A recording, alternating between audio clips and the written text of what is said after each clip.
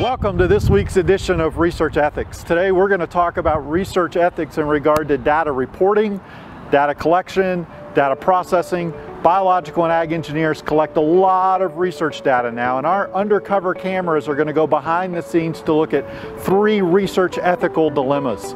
So come with us, let us show you these examples and we'll also talk to some experts about what to really do in terms of research ethics. Hey Mike, how are you doing? Hey man. How's your research presentation going?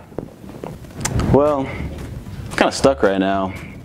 Uh, I've got my model's not really fitting well to several of the variables uh, that I measured, it, like for so many days. Um, I've just no idea why. I'm kind of thinking about taking those out of my dissertation, you know, and just pretending like the, the model or the device didn't really work. Um, it's only like 5% of my data set, so I don't really think it's going to be a huge deal.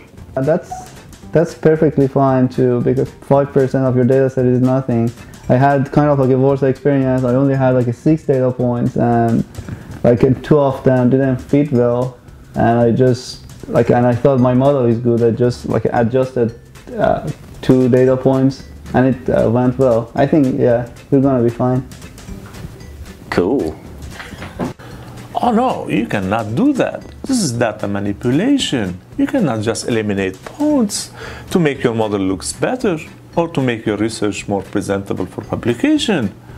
Data manipulation and falsification is a severe breach of scientific ethics. It's a scientific misconduct. You just cannot do that. Hey Sam, how are you doing today? Mm, I'm doing well, thanks. How is your research going?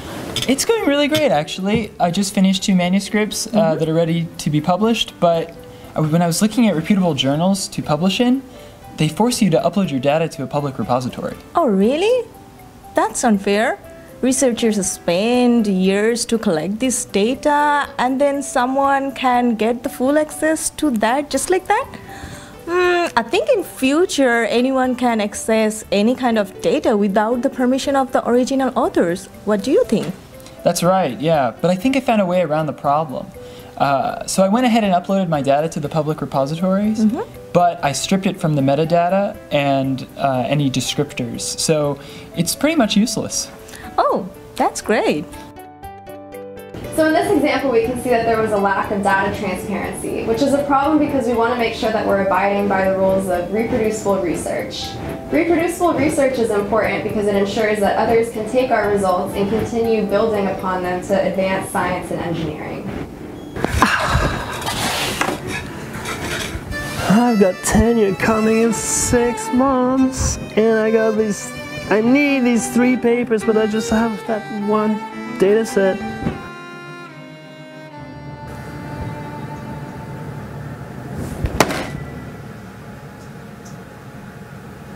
Think I know I'm going to do. I mean, it's great data. There's lots of it. So what I'm going to do is just going to split into two and publish, oh, submit in one journal, first half. Submit the second half in another journal at the same time, unrelated, you know, so it doesn't show up anybody will tell. After all, you know, it's great data. Um, it's gonna make twice the impact. There's nothing wrong with that. I think I'll just do that. Well, I feel for that young professor. I understand he's trying to get tenure, but what he's doing is not ethical. If you're splitting data up for the sole purpose of just bumping up your publication numbers, that's a no-no. It dilutes the data, it makes it harder to access, he's making the wrong decision. Today in this edition of Research Ethics, we saw three examples of what not to do uh, when handling and managing data. We hope to join us though next time because there's lots of other cases that we need to look at about how we can maintain the integrity uh, and the honesty in how we manage data in research. We'll see you next time.